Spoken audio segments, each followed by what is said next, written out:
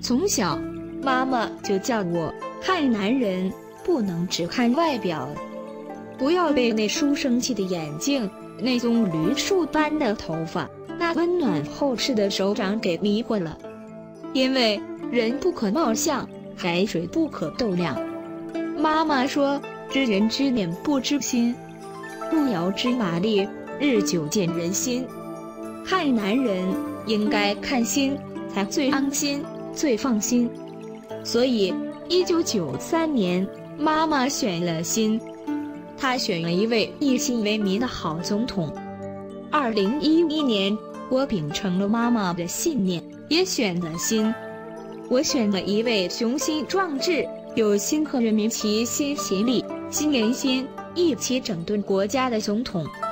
他叫陈如斯，他是咱们新加坡民族的良心。